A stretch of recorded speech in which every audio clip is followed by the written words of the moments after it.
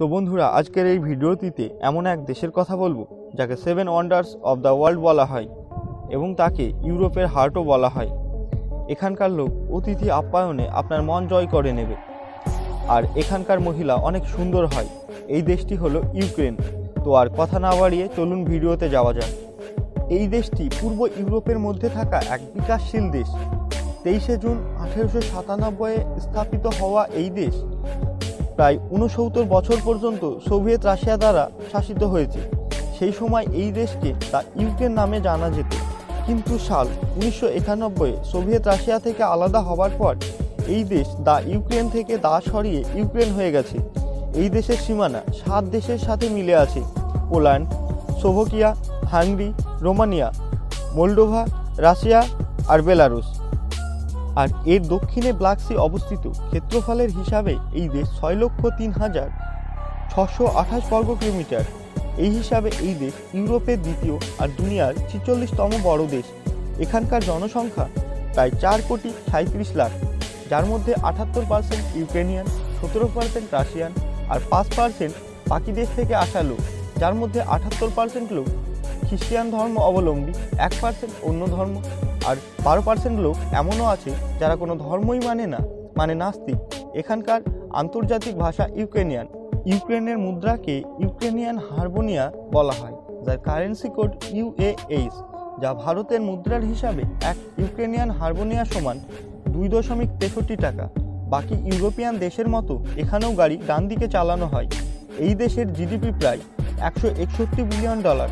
আর এই হিসাবে এই দেশ ইউরোপের চব্বিশতম আর বিশ্বের সাতানব্বইতম স্থান।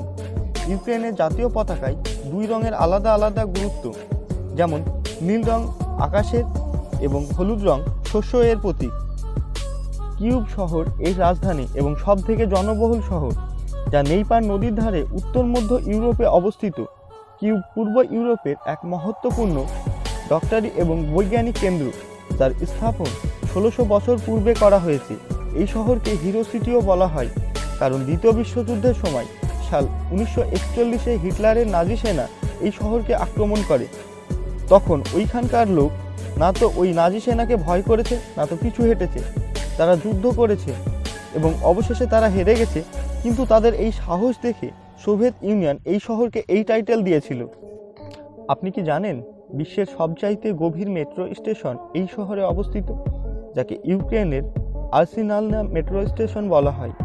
বলা হয় যে এই মেট্রো স্টেশনের প্ল্যাটফর্ম পৌঁছাতে গেলে এলিভেটরের সাহায্যে কমপক্ষে পাঁচ মিনিট সময় লাগে।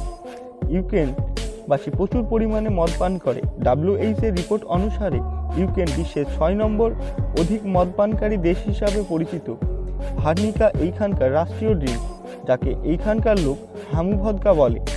আর এখানকার লোক এই ড্রিঙ্ক বেশি পান করতে পছন্দ করে। ম্যাকডোনাল্ডের দিবানা পুরো বিশ্বে, কিন্তু এই দেশের লোক একটু বেশি পছন্দ করে। আর এই জন্য কিউব সিটির ম্যাকডোনাল্ড বিশ্বের তৃতীয় ব্যস্ত রেস্টুরেন্ট। দুনিয়ার ষোলো পার্সেন্ট ফসল ইউক্রেন দ্বারা উৎপাদন করা হয়।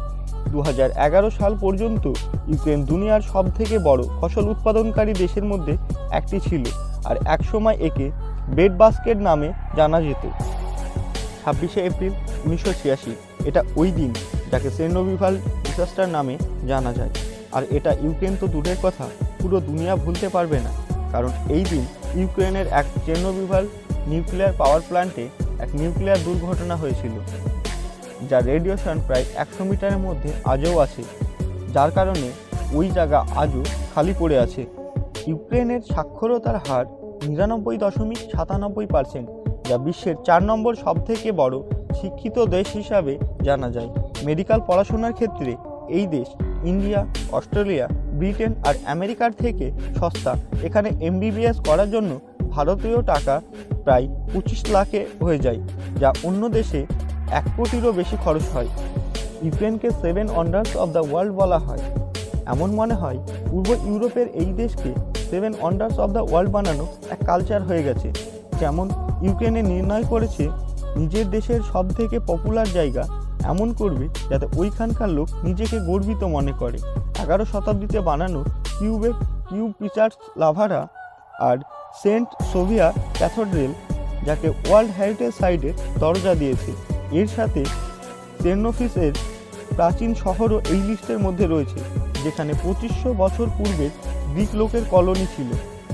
ইউক্রেনে এক রেলওয়ে ট্র্যাক আছে যাকে দ্য টার্নেল অফ লভ বলা হয়। এই রেলওয়ে ট্র্যাক ওয়ার্ল্ড ওয়ারের সময় গোপনভাবে গোলাবারুদ এক স্থান থেকে অন্য স্থানে পৌঁছানোর জন্য ব্যবহার করা হতো।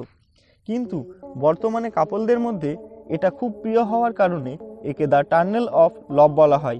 শীতের সময় টার্নেল সাদা বরফে ঢেকে যায়, কিন্তু বসন্তের সময় পুরো সবুজ হয়ে যায়, তখন এই জায়গা অনেক সুন্দর লাগে।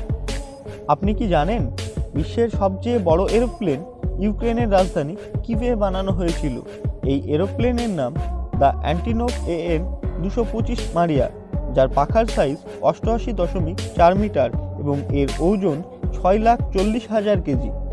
বন্ধুরা, আপনারা তো জানেন, আমাদের দেশে বিয়ের আংটি বাম হাতে পরানো হয়, কিন্তু ইউক্রেনে ডান হাতে পরানো হয়। যদি আপনি কখনো ইউক্রেন যান, তো আপনার যাত্রা খুব সুন্দর হবে, কারণ এখানকার লোক অতিথি আপ্যায়নের জন্য বিখ্যাত। অতিথি আপ্যায়ন এরা মন থেকে করে এবং মন থেকে সম্মান করে। তো বন্ধুরা, আজকের ভিডিওটি এই পর্যন্ত। ভিডিওটি ভালো লেগে থাকলে লাইক করুন, শেয়ার করুন। আমাদের চ্যানেলটি অবশ্যই সাবস্ক্রাইব করুন এবং নোটিফিকেশন বোতামটি প্রেস করুন। পরবর্তী ভিডিও সবার আগে পেতে। আবারও দেখা হবে পরবর্তী ভিডিওতে।